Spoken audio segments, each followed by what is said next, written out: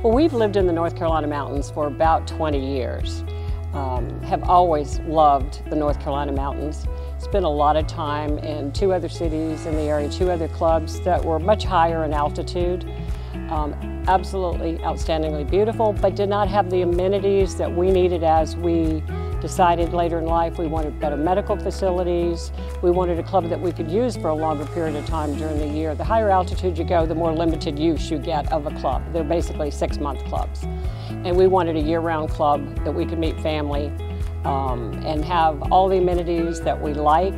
This one actually has all the amenities and even more.